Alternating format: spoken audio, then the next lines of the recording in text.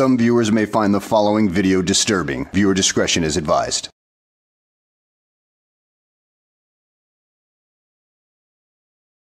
Well, hello and welcome back to the channel, everybody. In today's video, we encounter a sovereign citizen, well, who actually admits that he's a sovereign citizen. And he is picked up on uh, having a few warrants because of unpaid traffic tickets. And it is also noted that he has no insurance on his vehicle. So he is given a ride to the police department to cover all those issues, but while during the ride, he spouts off all kinds of sovereign citizen BS. And this is not just a one way conversation either, considering the officer actually wants to understand how this man thinks and starts to try to corner him on certain issues. So let's give a shout out to DFW Emergency Photography for originally uploading this video within the past couple days. So go check out their channel, rate, comment, share, subscribe if you happen to like it. In the meantime, let's sit back, relax, and enjoy the show. So I can get my spiel right into the camera, right? Your spill. Go ahead. That's what you say, yeah. Under the Uniform Commercial Code, Book 1, Section 308, which says, and I quote, I reserve my right not to be compelled to perform under any contract or commercial agreement that I did not enter into knowingly, voluntarily, and intentionally. Furthermore, I reserve my right not to be compelled to accept the liability of said commercial contract or said commercial agreement that I did not enter into knowingly, voluntarily, and intentionally. While you have some good memory retention, I just wonder where you got that quote from. Did you get it off some Sovtard website? Because that's not what the uh, UCC says in that particular section you just quoted. But not like it really matters anyway, considering the UCC or the Uniform Commercial Code are codes that govern the laws of commerce in this country. It does not govern anything to do with civil or criminal matters. It is a guideline for commerce, nothing more, nothing less. But these sovtards tend to think that the United States is a corporation and not a sovereign nation. You sound like a well-spoken gentleman. Thank you, sir. So let me ask you a question, just from my knowledge here. What does all that mean?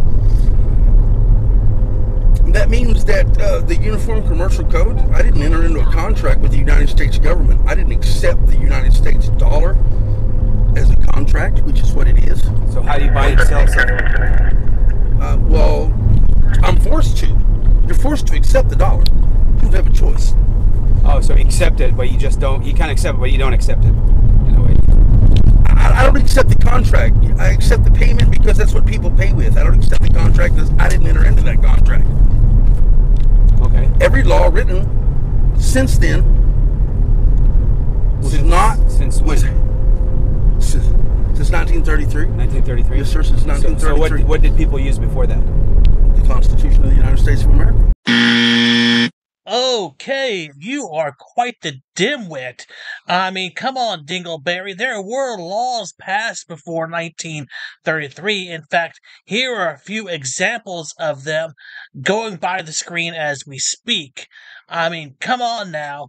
You gotta have a little bit more intelligence than that. Yeah, but what what monetary? Uh, Gold. I- I- gold. Gold standard. The uh, gold standard was in use from the late 19th century to the early 20th century until after the Great Depression. But during this time, even during the time of the gold standard, paper money was still issued. So you're kind of oversimplifying a very complicated issue. Or you just have a total misunderstanding of the situation as a whole, which I'm guessing it is more of an issue of misunderstanding by this point. Good, Kenny. So uh, 9815 they abolished the Constitution and, and stated the Uniform Commercial Code, which I didn't enter. And so all your traffic laws are written under that Uniform Commercial Code. Uh, can I get a citation on that, dude? Because, you know, uh, I've heard all sorts of things about, uh, the Constitution since I was a child. One in particular that stuck in my head was that the uh, Constitution was written by communists in the 1950s to subvert the United States, which uh, doesn't really make any sense at all. But let's carry on with this man's stupidity, shall we? And here's the kicker the judge is not liable. And you can't sue the state. You cannot. You cannot sue the state. No, you cannot sue the state. So who- who do you sue? And the judge is protected by the bench as long as he wears that black robe.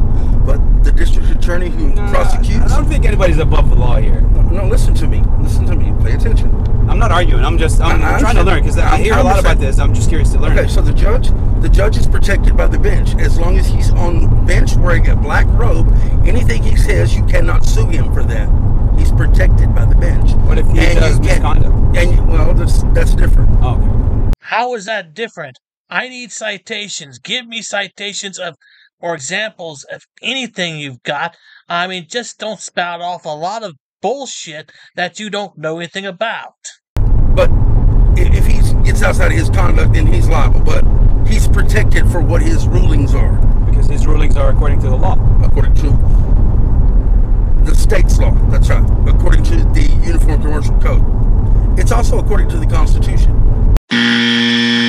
No, you moron, according to the local, state, or federal laws, depending on the situation, not to the Uniform Commercial Code, which does not govern the United States. The Constitution and the laws do, not the Uniform Commercial Code.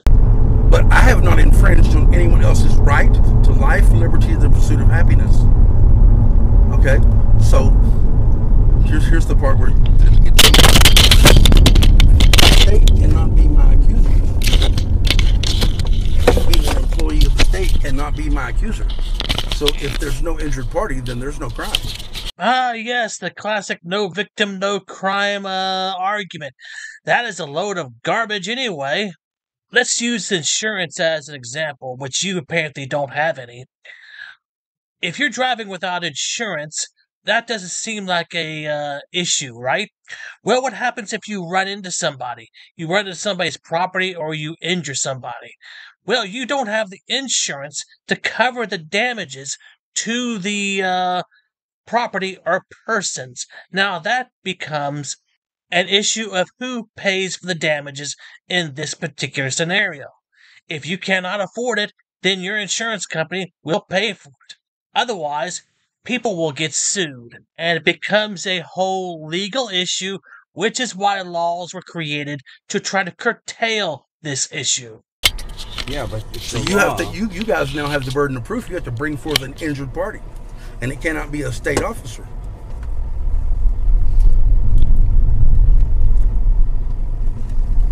But if the law says something, you go against it, then you're breaking the law, which means What law? I have not infringed on anyone else's right to life, liberty, and pursuit of happiness. I am well within the Constitution of the United States of America. Yeah, but driving is a privilege. It's not a right. Driving is not a privilege. Dri- Driving is a fundamental right. I have the right to free and unrestricted travel. Oh, yeah, you have the fundamental right to travel anywhere you want to go in the United States and using a means of conveyance at your disposal. But if that means of conveyance is a motorized vehicle, then it becomes a privilege regulated by the state. There has to be a licensing process to uh, ensure that people know how to operate these machines so they don't go hurting anybody or damaging property. And then there has to be insurance laws to make sure that if people are hurt or property is damaged, that that will be taken care of. But you just don't seem to understand that, do you, Sovtard? I mean, hell, I understood it when it was explained to me at the age of 15.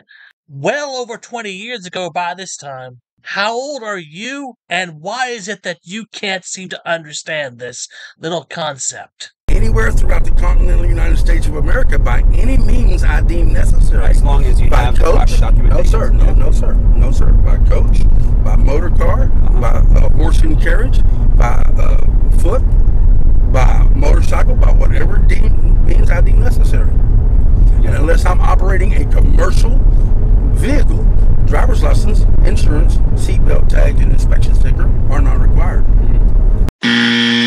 Well, you have fallen so far down the rabbit hole I don't think there's any escape for you. But let me try to help you out, Sovtard. If you would actually take some time to look up the laws and understand what the 10th Amendment is, uh, you would understand that these things are required. But I think at this point it might be a useless endeavor to even try to help this guy out because he's consumed copious amounts of lead paint chips until the point where his brain has completely fried. Are My guys over there in that truck, they're driving a commercial vehicle. That's a company truck. That company truck has commercial insurance on it, and they have driver's license, and they are legal because they are a commercial vehicle.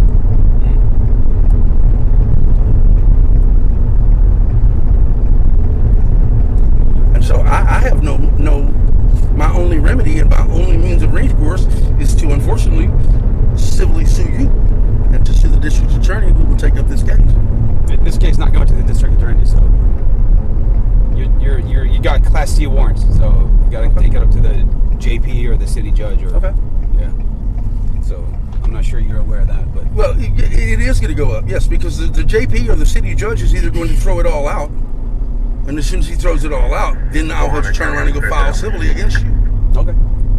And if he doesn't throw it out, then I take it up to the But if next gonna- appeals hold court. on, but if I'll take it to the next appeals court, and then it will get thrown out. But there are judges there, and you don't believe in judges, do you? I do believe in judges. I believe strongly in our jurisdictional system. Okay, so So those judges, those judges at, up at the Supreme Court level have heard this case so many times that they will not even hear it anymore. Yeah, they 'cause rule in my tired of it. favor. They rule in my favor every time. seriously, Seriously. okay, give me an example. Uh, and I can't think of a case right off the top of my head. I'm kind of rattled right now, but you know, I'm, I am in handcuffs in the front seat of a car going to jail. It's funny that you were able to come up with uh, other BS arguments this whole time while you were sitting there, but you just can't seem to come up with any uh, rulings on the subject. So, which tells me you haven't actually done your research and that you are just continuously spouting off more and more BS anyway. So, why should we believe you? And even if you did present a case that you claimed was on your side. A lot of times I look up these cases and they have nothing to do with anything the Sovtard is trying to argue.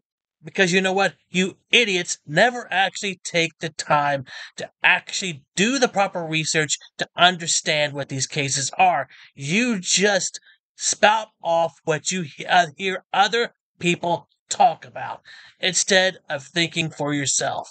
Well, at this point, I'm just going to end the video right here because they'll continue to talk to each other about other things after this. So I hope you liked the video. I will see you on the next one.